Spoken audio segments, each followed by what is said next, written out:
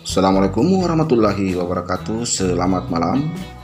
Kembali informasikan dari Jeju Di mana pada hari ini kegiatan untuk hari pertama sudah selesai. Hal tersebut diungkapkan oleh Yola dalam live tiktoknya barusan Memberikan informasi bahwa untuk kegiatan pada hari ini sudah berakhir tinggal menunggu hari kedua. Besok 30 April 2024 nah kalau kita lihat dari uh, akun sosial media khususnya Instagram uh, Kopo di mana memperlihatkan di latihan uh, atau tes terakhir tadi diadakan sebuah pertandingan yang dibagi dua tim.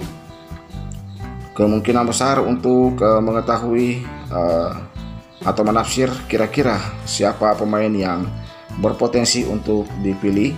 Karena untuk kuota Asia ini tinggal lima orang setelah Megawati dan Wipawe memastikan diri untuk kembali berkompetisi di uh, Philip 2024. Uh, untuk kegiatan sendiri pada hari ini menurut Yola, informasi dari Yola dari live TikToknya mengatakan bahwa uh, tadi untuk hari pertama khusus untuk tes kesehatan diambil semua tingginya kemudian latihan dasar dan ditutup dengan tadi dua tim untuk uh, pertandingan. Dan untuk jadwal esok hari di hari kedua adalah wawancara.